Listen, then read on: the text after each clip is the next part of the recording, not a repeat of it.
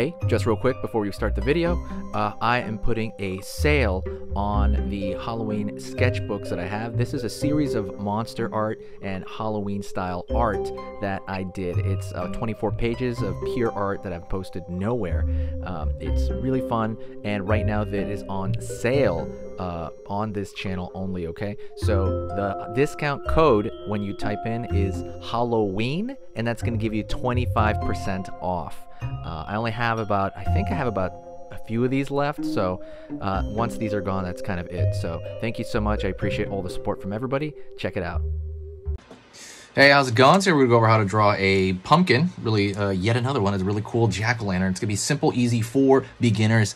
Stay all the way to the very end of the lesson. It's only a seven-minute lesson, and nobody ever, in general, in YouTube history, in general, all of YouTube, nobody stays on videos on YouTube more than like I don't know, two seconds or something, right? So stay all the way to the very end, and you'll be one of the very few, and you'll have a new skill by the end of it. So let's get started, okay?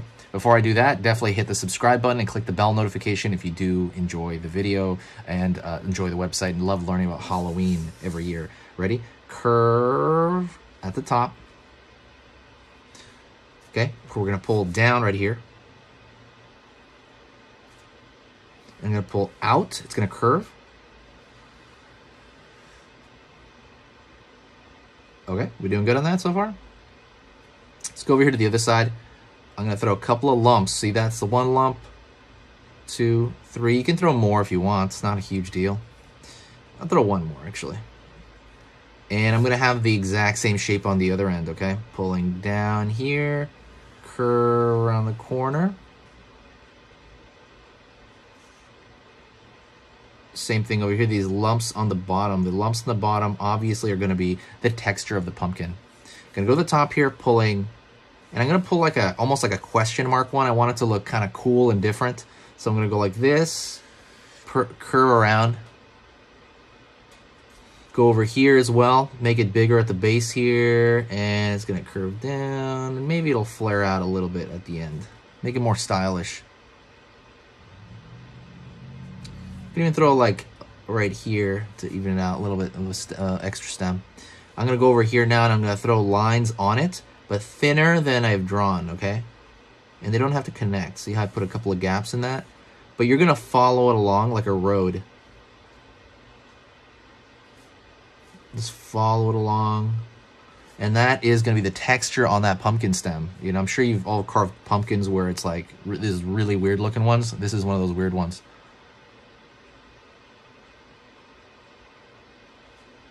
Gonna go over here draw that part of the eye down here. Over here, let's go to the other eye. Right on. I'm to pull a line inward, like so. And I'm to draw a half circle here. And I'm to connect that line back there. All right. To go do the same thing on this side. Pull a line here.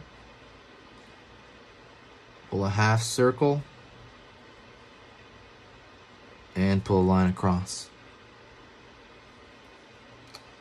What I'm to do now is I'm to fill those shapes in. You can do this real easy in pencil. If you're using pencil, it's probably really easy to do this, to fill it in. Just kind of fill in the side of your pencil. If you have a marker, it's also relatively easy. It might be hard if you have like pen, I guess. It'll probably be pretty tough. But you can still do it. I'm gonna go over here. Another triangle. This one I'm just gonna straight across on this one. Okay, gonna do the same thing here, slowly fill it in, just kind of right on.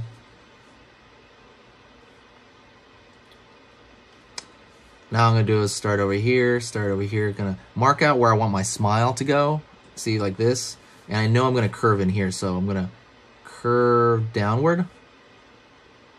Before I do that, I'm gonna pull a line outward for the two, a tooth sticking out, down, up. Continue the flow of this line over here, of that smile. Pull down, out here, up go over here, pull up. Over here on this end, curve down, up, cross, down. We're gonna do the bottom teeth now. All right, you doing good? Good, good. Curve here. Continue that curve, basically, a smile. Up, cross, down.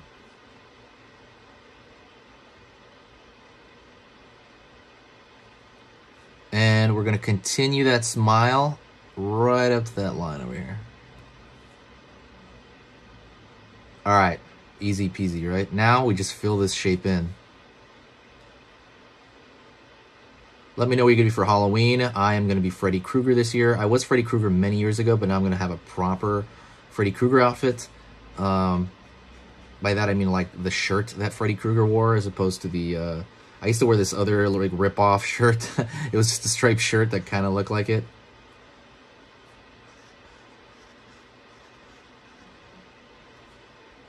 Line over here. Cross. Up. Just gonna fill in this in. Doesn't really matter how you fill it in. You can fill it in like this. You can just kind of blotch it in. Doesn't really matter with marker at least.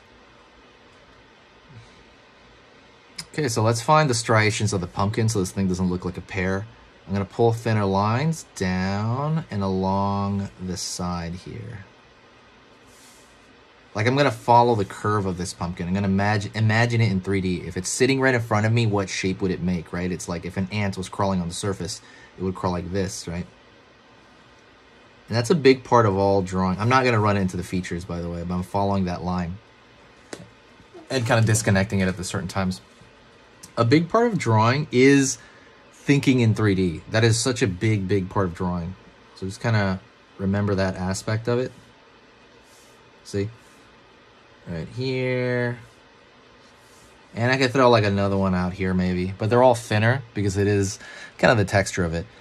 Whew, thank you so much. I appreciate you being around. You are amazing. Uh, do me a huge favor and, uh, uh, you know, share the video with a friend that you think might enjoy it. Um, it is Halloween season, so it's pretty easy to share these right now. It's really fun to do. Um, but thank you so much. You guys have been amazing, and I want to thank you for everything that you've done. Um, and everybody keeps supporting me, and I love it. So thank you. I will see you next time. And that's it. Stay spooky.